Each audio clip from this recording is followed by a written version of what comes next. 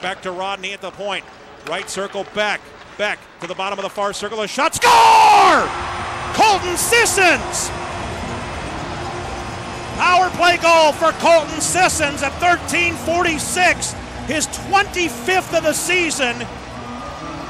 Power play goal number six, and the Admirals lead three to one.